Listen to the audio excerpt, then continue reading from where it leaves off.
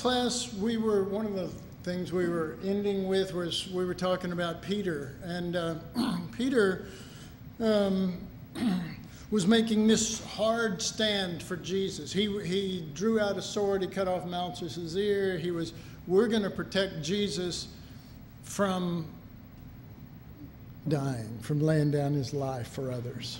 We're going to see, we're the protectors of the life, not knowing what the life is, that it's a lamb inside of there.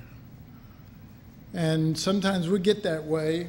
We can even get that way with the, the truth that we know and that the Lord has shared with us that we're going to, we get hard and we stand against others and we confront and we do all that kind of stuff. Uh, in a spirit that is not that. And the best thing to do, the best thing you could possibly do is lay down your life. I mean, if they're not open, you know, just lay down your life, put it in the hands of the Lord.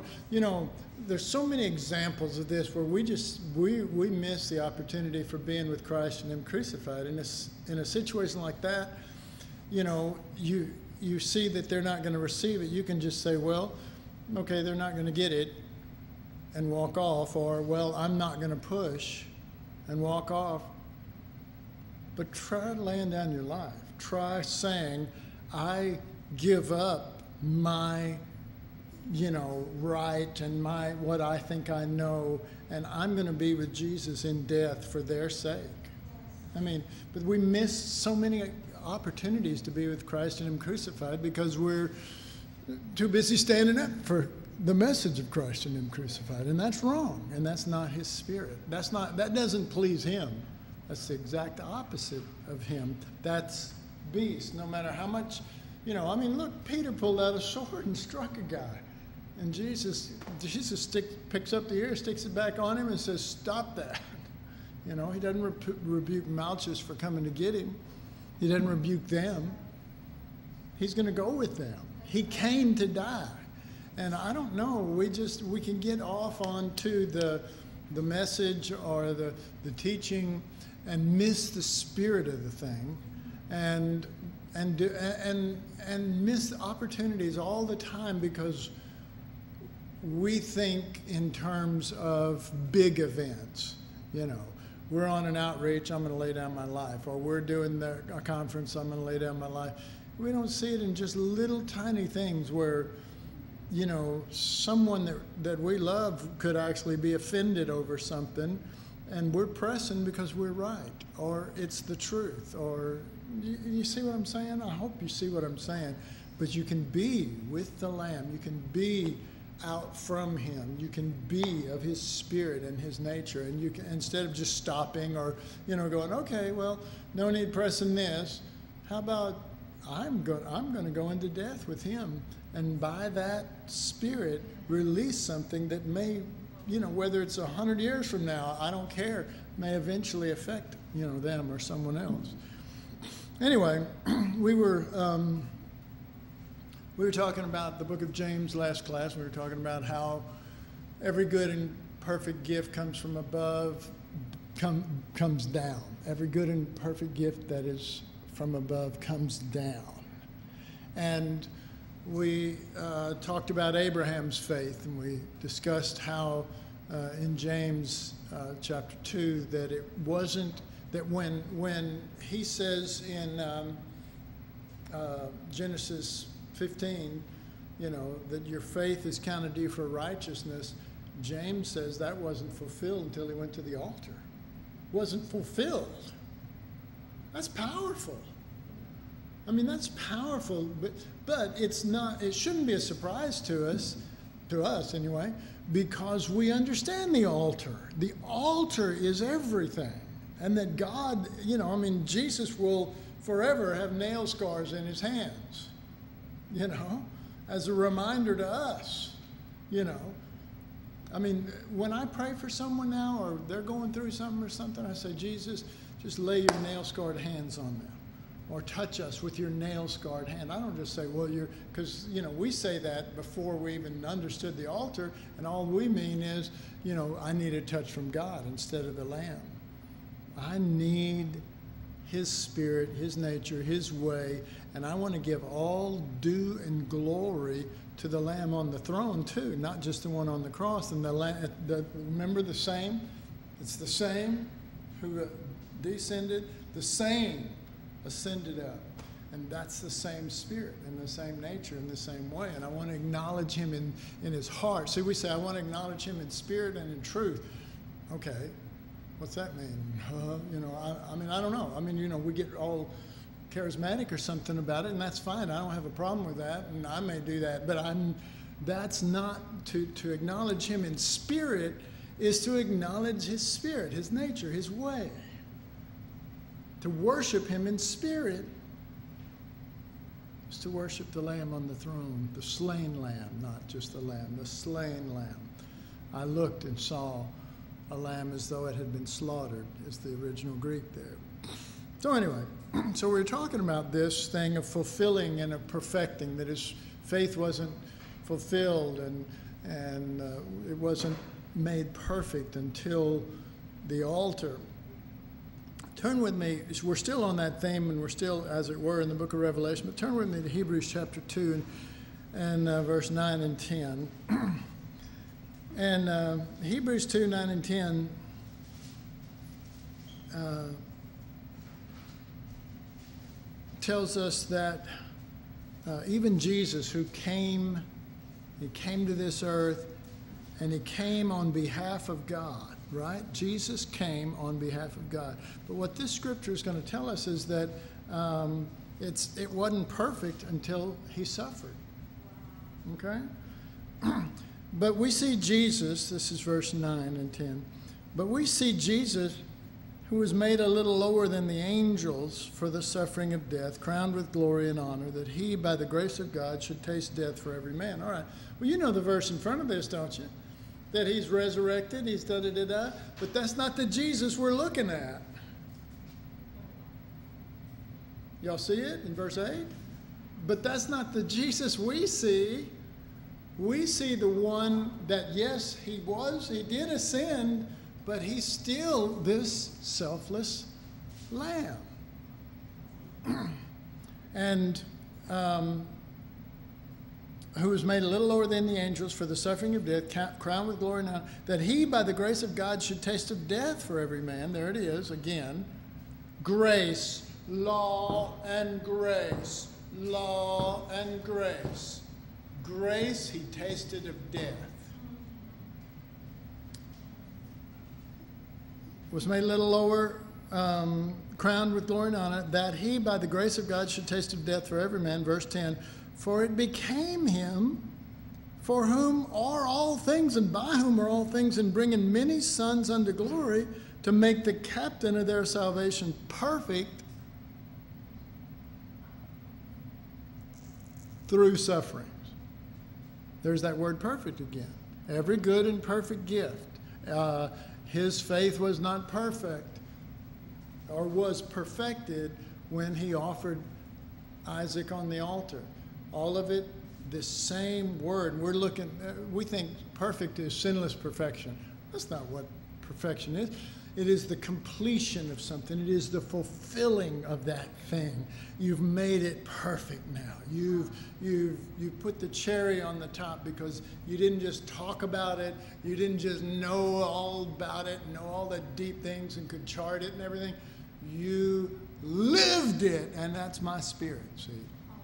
I mean, how much, how much happier could you make Jesus by being one with him in that, that image, that same spirit, that, you know? um, so, uh, in order to bring sons to glory, it was fitting that it brought it be brought through selfless giving. In order to bring many sons to glory, it was fitting that it be brought about by lamb life, selfless giving. Um, again, I'll read this. The word perfect here is not sinless perfection, but again, like Abraham, when he offered Isaac, it was not complete until the altar had been applied. It was not complete until the altar had been applied. And no matter what heights we are brought to in knowledge in the Lord, and that's what Isaac was before the altar, it is not perfected until we're willing to come down from it and make it an altered son. Um, Romans 8, if you want to turn there with me, Romans 8, 17 and 18.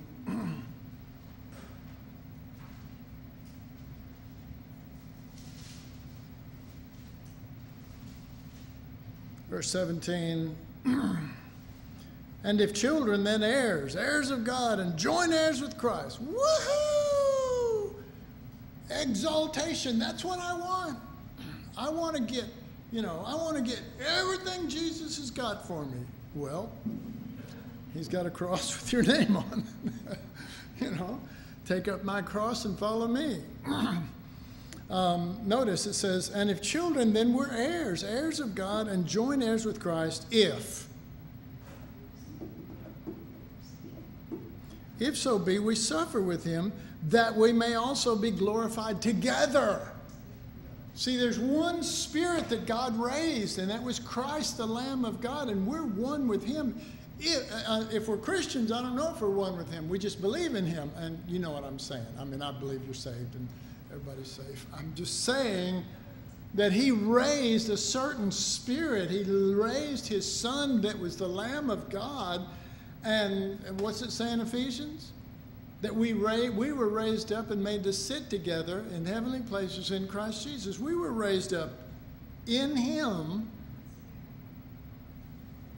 and He was raised up and made to sit together. And who's sitting there on the throne in the book of Revelation? We find out the real nature and not just some sort of a, of a well, you defeated him by being raised. And I'm, I'm just, I'll say it again. He didn't defeat anything by being raised in that sense. Through death, he destroyed him that had the power of death, the devil. Through death, the old man was crucified. Through death, the law was defeated. Through death, each and every one of those is this one down here that descended. That same one ascended, so I want you to worship that. That's God. That's what he would say to you. um, So uh, it goes on to say in Romans, if so be, well, I like this. Now we are heirs if. So be, but more importantly, now are we children if. What does that mean? If children, then heirs, but it's about being children. He's, he's putting the emphasis on children. If children, then heirs. We're in the family. We're of the same nature. We have the family spirit. We have the spirit of the Lamb. If we manifest it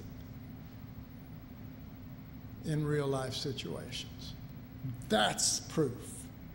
Now we're children if you, you manifest it in in his same self giving way, and he can look and go, Come here. You know, come here. I love you. I love you. But, you know, the other, the alternative in the book of Revelation, it all has shaken down to, to beast and lamb, and those who follow beast and those who follow lamb it's it can look good. It can look right. I mean, a whole bunch of people are following the beast because he's making it available where they can buy and sell and do all this stuff and whatever. But his motive is selfish. And miracles are being done. It says that. He deceived them by reason of the miracles that he did.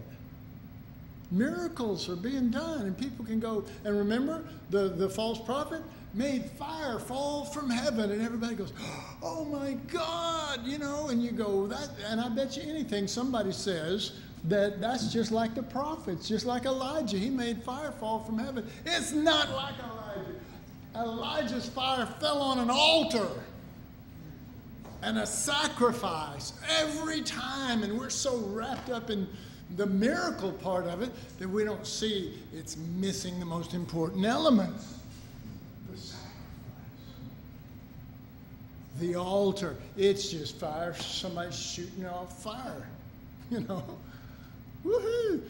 The, the, the uh, false prophet knows how to work fireworks, but it has nothing to do with, with the Lamb of God, the selfless giving of the Lamb.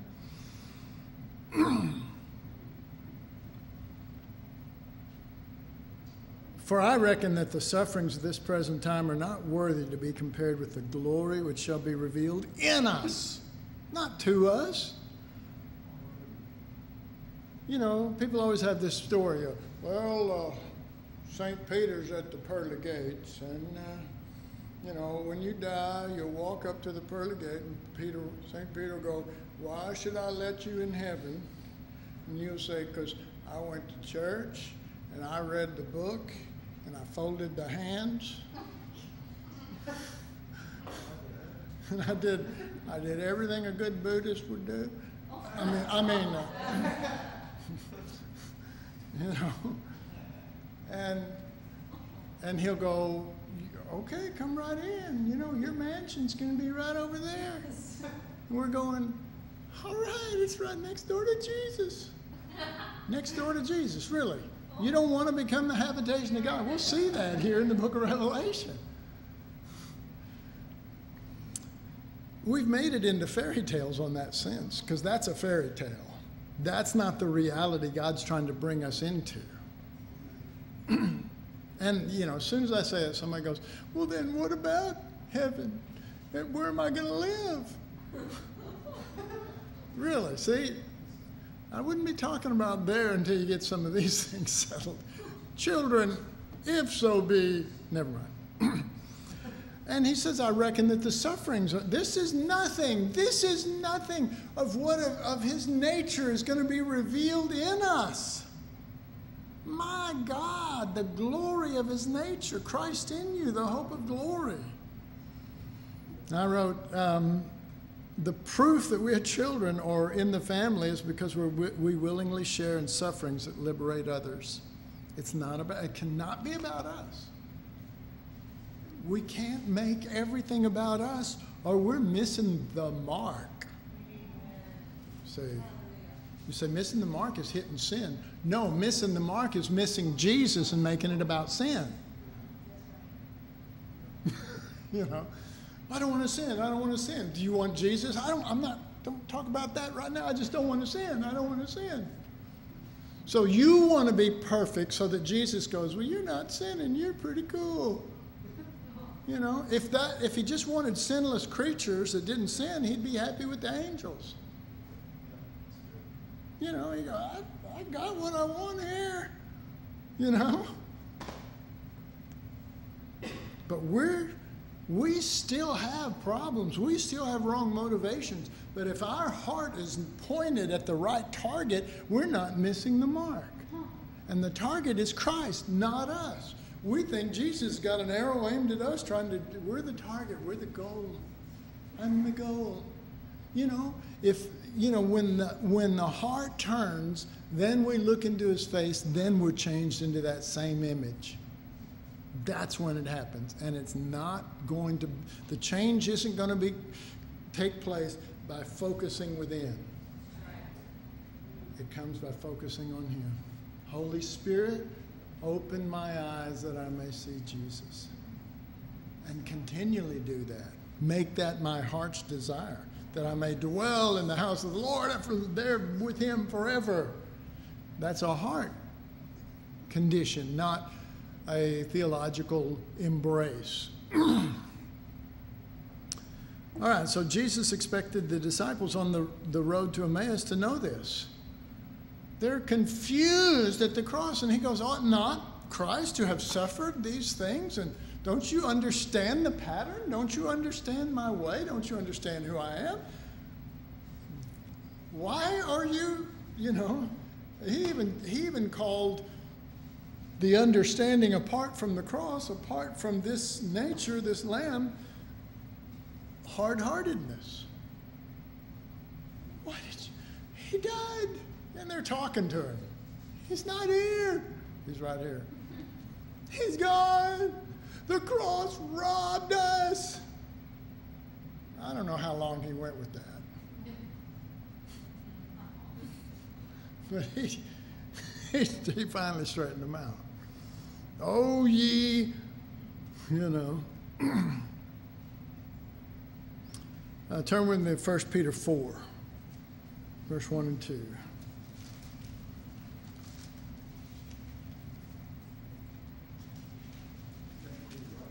1 Peter 4.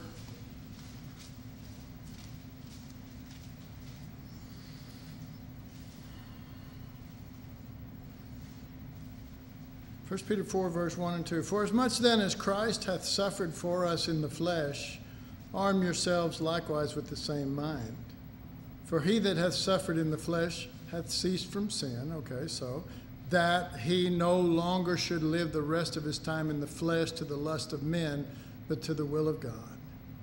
All right, so I just wrote down, therefore, since Christ suffered in his body, arm yourself in the same mind. What mind? Let this mind be in you. This is what he's trying to impart.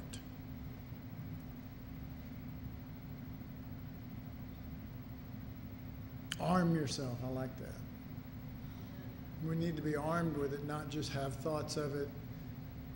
You know, and, and it's one thing to, in class, it is real easy, or in a church service, to get real spiritualized, not spiritual, but spiritualized, and think that we have something. We won't even know whether we got it or not until until the crisis comes. That's when you learn, you know and it'll teach you either you don't or you do, and neither one's bad. I mean, you know, if you if you fail, like Peter, fail totally, fail the Lord, and you know, Jesus shows up after the resurrection, and says, "Feed my sheep." On what? I got nothing. But he did. He did do it because he found out in the resurrection that that was his life that was raised, not just his Savior. And he said, I can do this if you're in me. That's the only way. Uh, can't you see Peter saying that? You know, I'm convinced now. this is the only way, Christ in me, but I'm for this. This looks like a plan now. Because I, yeah. and I'll tell you what, that's what happened to me. When I came to the Lord and I began to see that it was it, I could be dead, this was exciting for me. That I could be dead and Christ could be my life. I said, Well, there's hope in this. You know, and then the Spirit goes, Yeah, Christ in you. That's what I meant. That's what I meant. That's my hope. It's not my hope is not in me. and it's not in you. Just a reminder. Because you'll fail God too, just like I have. And then that's okay.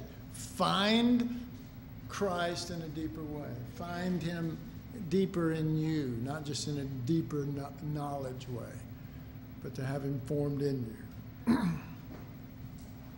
Romans uh, 12, turn there with me verse 1 and 2.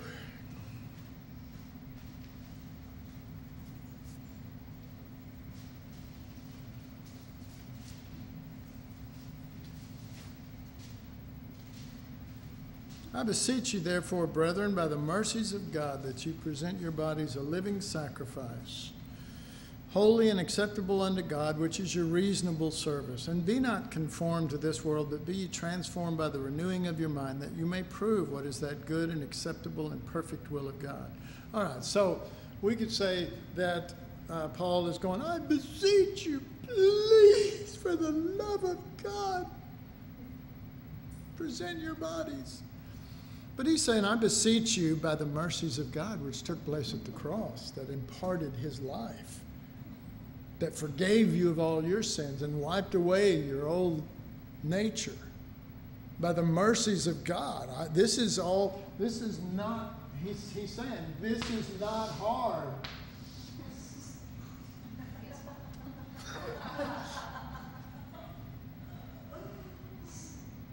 for him. But it's going to take a death.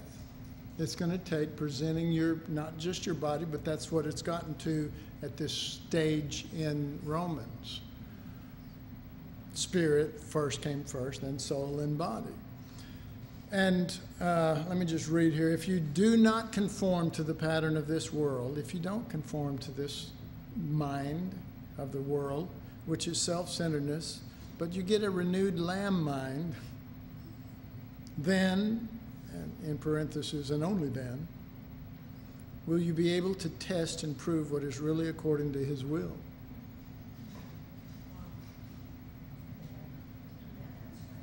It is because only then can you see from his point of view, which is if anyone come after me, the lamb, come after me, the lamb, because he's talking about taking up the cross. Anybody comes after me, the lamb, let the cross be daily and not just a one time historical event.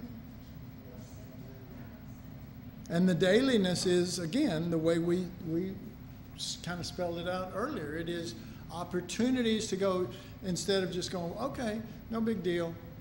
All right, you, you've done nothing eternal by doing that, but if you say, you know what, in this situation I lay down my life so that something of death may bring forth and spring forth as life for you.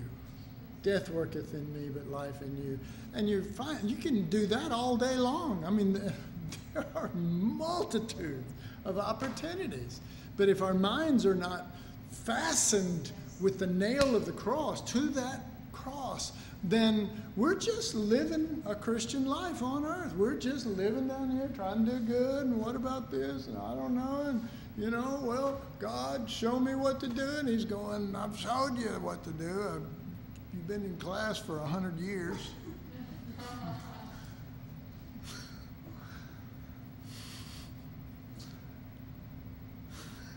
let this mind be in you. You know? Oh, oh, that. You know?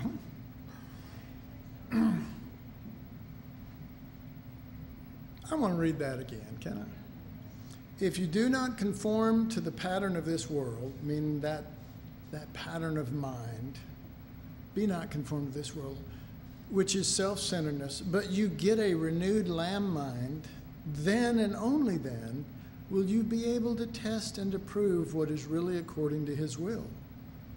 It is because only then can you see from His point of view, which is if anyone come after me, anyone come after the Lamb, let the cross be daily and not just a one time historical event that happened a long time ago get it worked into your life. You know, get it worked into your life, and that's the point. That's the point we're at in in Revelation. I mean, in Romans 12. That's why he's dealing. You you read all the way through 12. He's dealing with outward issues now. The everything he said that was true in Romans 6 that you are dead, the old man is crucified, everything that he said in Romans 7 in relationship to proving that to you as a, a oh wretched man that you are, everything that he's shown you in Romans 8 of his life now being your life and that this is what you trust in, this is what you conform to. Um, all of that is supposed to have gotten in us. We're on a journey, and all of that has been worked in us. And we get to Romans 12, and he goes, Okay, now let's talk about how this is manifested. Manifested. It's only a manifestation. Manifestation isn't hard when you got the real thing at work in you. Manifestation is really hard if you make it rules. So you want law or grace, or rather law or lamb. It's all in how you see it. It's all in how you perceive God. If he's still a lawgiver to you, then you'll see it in law. If, he, if you have seen past Jesus of Nazareth and you look into the eternal that, that, that John saw when he said, that which was from the beginning, not the beginning, because he said in the beginning was the word, word. So he's not talking about the day Jesus showed up in the river Jordan. that which is from the beginning we have seen. We have handled of the word of life, not just, well, Jesus spoke some good stuff to us. We're going to follow his teachings. Big difference. Big difference. so, Luke says, saying, The Son of Man must suffer many things. So, this is Jesus talking. The Son of Man must suffer many things and be rejected of the elder. I love these scriptures. But but this is Jesus talking when they're expecting a kingdom to come and everything's going to be really cool because he's going to have a throne and they're fighting over who's going to be sitting at the right hand and the left. And he's talking and he says, The Son of Man must suffer many things and be rejected. I don't want to be rejected. Let me just finish this off and be rejected of the elders and chief priests and scribes and be slain. And the Holy Spirit, when I was in Bible school, it was just a rock and a bench there made out of a tree stump. That was my desk. Noah walked by. Not this one. it's a long time ago. I remember, I remember when the Holy Spirit was talking to me. I remember this, and I'll never forget it because it was eternal. And Deb might even remember when I spoke it to her. And we weren't married then. the Holy Spirit started dealing with me, and He said, and some of you have heard this, but He started dealing with me because there was a bunch of us that were around. We were Bible school students, and we were excited, you know. And, and one of them said, I want to be like Paul, you know. And, and another one said, I want to be like David, you know, and we were Bible school students and stuff. And I said, I'd like to be like Jesus, and I want to be conformed to his image. Uh, and the Holy Spirit said to me, Well, then, when you read it, don't read yourself into uh, Boaz or Abraham or, or anybody else there. Read yourself into me when I spoke. And I said, Yes, sir. And these are the first scriptures he brought me to. And it says, The Son of Man must suffer. And he's going, That's you're you're one with me. This is this is you. This is your life. The Son of Man must suffer many things and be rejected of the elders and chief priests and scribes and be slain. And I went, you know, right after this, the sentence doesn't end with that. It says, and be raised on the third day. But I, I never saw that part. All I saw is, you know, if Christ is my life, I'm not trying to be like Peter or David or David. Christ, that same guy, the same, is raised in me. This is probably going to happen to me. That religious people might turn against me, that I might be rejected I kind of left Bible school already aware that something bad could happen. you know what I'm saying? I kind of was already in tune with that, realizing it's, it's not because of me, it's because of Him. And not because, well, it's Jesus in me, so people are going to hate you, you know. That's the way we, we, we think that. Well, it's Jesus in you, so people are going to hate you. No, it's Jesus in me, and He's going to put Himself in that situation to die for the very ones who murder Him so that they can live. He could have got out of that. He's not going, yeah, this is my sad future on the earth. I'm going to suffer many things and be rejected. Pray for me, you 12. T- Never mind.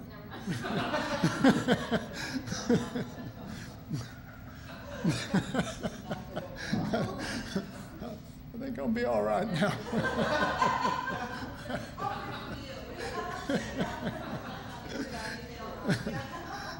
Y'all run along now.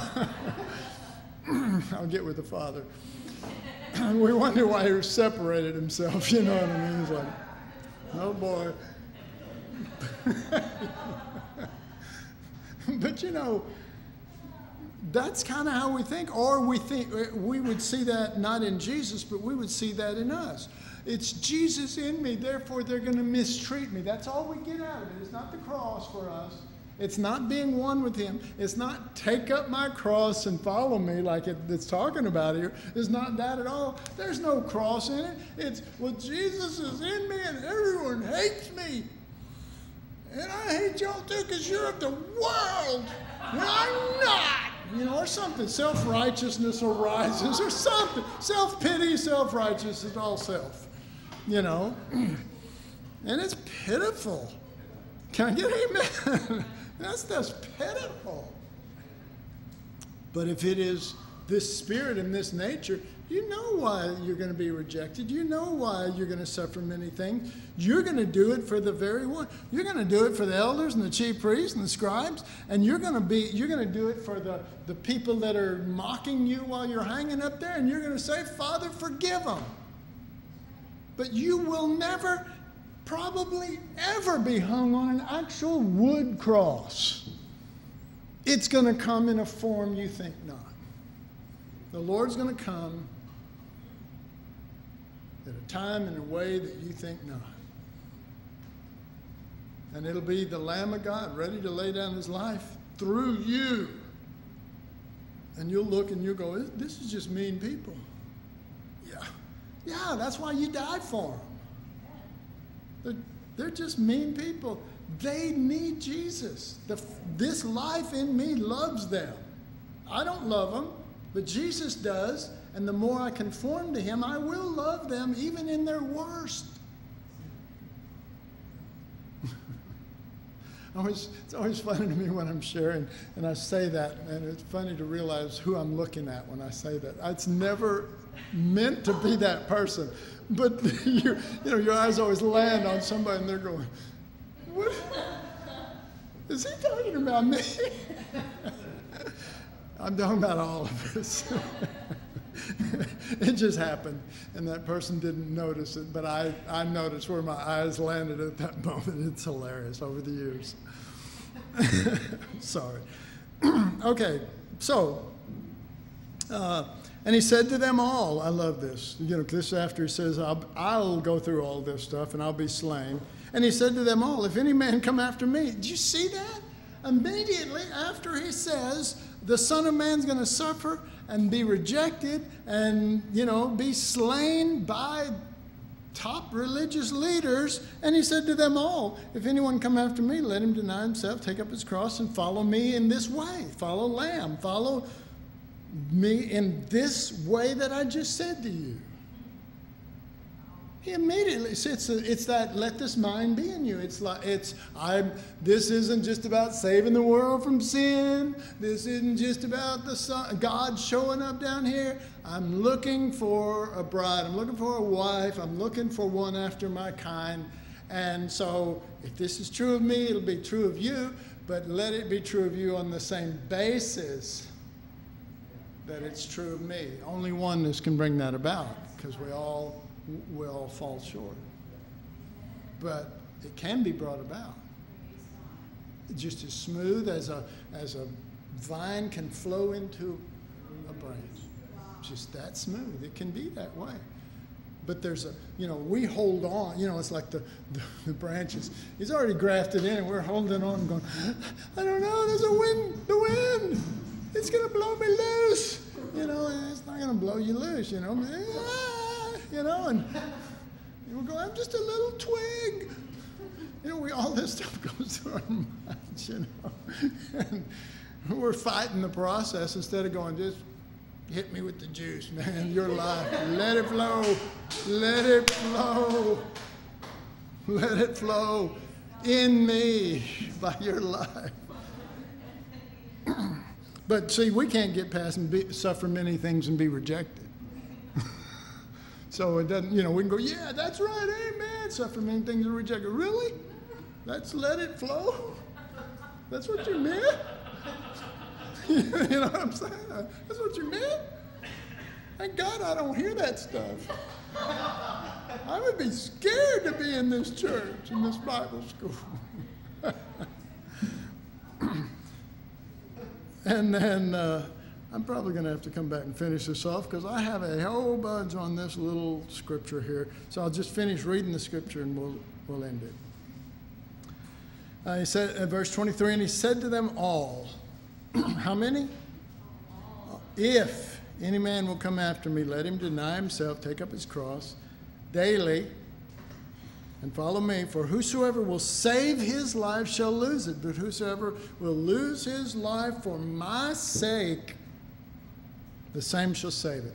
See, he didn't say, lose your life for my cause. It's for his sake. I do this for your sake. I, I, want you, I want you to get the bride of your heart. I want you to get one after your kind. I want to be conformed to your image in such a manner that it will please you for your sake. But whosoever will lose his life for my sake, the same just saved it. Because you can't lose with this kind of death. Did you know that? You can't lose. There's a resurrection, and it's Him and the life. So let's pray. Father, we just thank you for your spirit and your continued um, uh, moving by your spirit upon us. And we thank you that you're not going to give up, you're going to keep going. You're not going to tire of, of reaching out and dying and giving yourself. Uh, you're going to work toward the end that you had in your heart from the beginning. And your plan will be fulfilled. It will come to pass. And so we rest in you and not in ourselves. And we thank you for your word. May it be seed that falls into this ground, and may we be good ground that it can take root and spring up as life. We ask in Jesus' name. Amen. Amen. We're, we're dismissed.